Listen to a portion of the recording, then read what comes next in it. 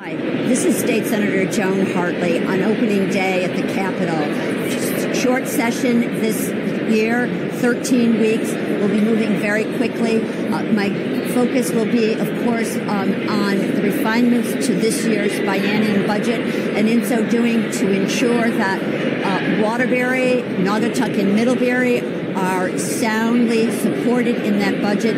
Uh, Waterbury, for instance, to maintain our education funding and also to continue to scale all the work that we have done with Brownfields.